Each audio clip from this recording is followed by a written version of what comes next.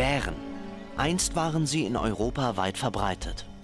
Heute kommen europäische Braunbären nur noch in wenigen abgelegenen Regionen vor. In den Alpen sind die Tiere extrem selten. Entsprechend groß war die Überraschung, als Mitarbeiter des Schweizer Nationalparks nun einen weiteren Bären nachweisen konnten.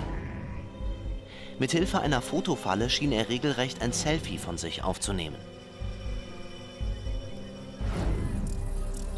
Für eine dauerhafte Rückkehr der Bären in die Schweiz kämpft die Forstingenieurin Joanna Schönenberger. Sie will helfen, Ängste und Vorurteile den Tieren gegenüber abzubauen. Wir sind hier im Münstertal und hier ist eigentlich die Hauptwanderroute der Bären, die in die Schweiz führt. Also das Münstertal hat sich wirklich als Superbärenland entpuppt. Die Tiere stammen aus Italien. Wenn Bären heranwachsen, werden sie irgendwann von den Alten vertrieben. Bei solchen Auseinandersetzungen sind die Jungtiere stets unterlegen. Sie müssen abwandern und sich eigene Reviere suchen. Vor allem junge Männchen können dabei weite Strecken laufen. Ein Bär startete seine Reise in Italien, durchquerte Teile der Schweiz und Österreichs und wanderte rund 300 Kilometer Luftlinie bis nach Bayern. Bruno der Bär, heute im Museum, im Sommer 2006 eine Sensation. Zunächst gefeiert, dann zum Problembär erklärt und schließlich abgeschossen. Sein früher Tod machte ihn endgültig zur Ikone.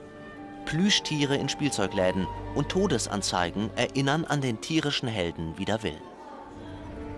In anderen Regionen Europas wie in Rumänien ist die Nachbarschaft von Bären und Menschen ganz normal.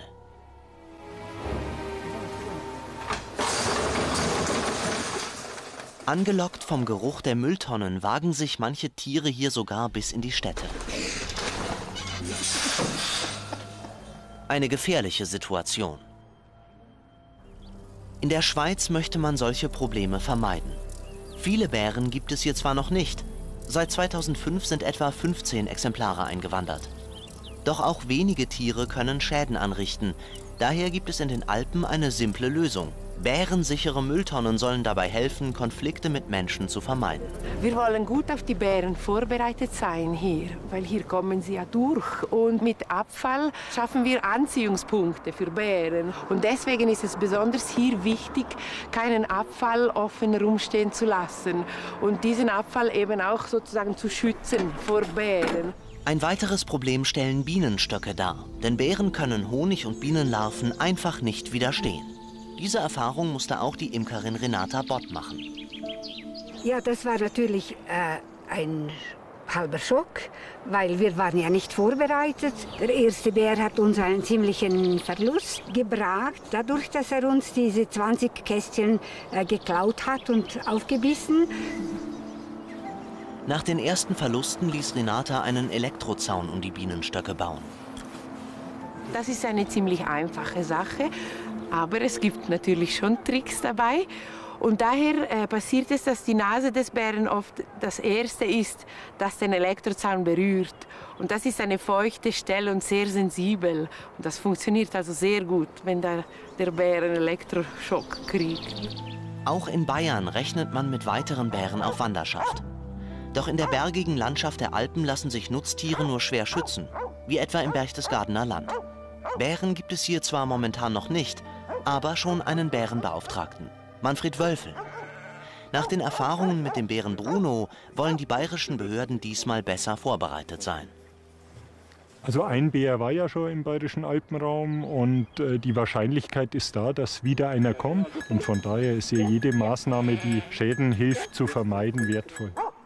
Maremano abruzzese sind Herdenschutzhunde, die seit Jahrhunderten dafür gezüchtet werden, Raubtiere vom Vieh fernzuhalten. Das System ist also nicht neu, sondern nur in Vergessenheit geraten. Die Schäferin Renate Aschauer hat sie für ihre Herde wiederentdeckt. Die Herdenschutzhunde leben in der Herde, bewachen ihre Herde.